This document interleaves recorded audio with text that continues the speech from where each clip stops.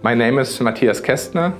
I'm the Corporate Vice President for Microchip's automotive business. Time is rolling fast. Uh, 2024 is approaching, and I would like to take the opportunity to invite you to our presence at CES, which will be hosted at the Venetian, uh, where you'll see a lot of exciting demos from Microchip, uh, new technology from Microchip that will clearly showcase that Microchip is all about automotive, safety, and security.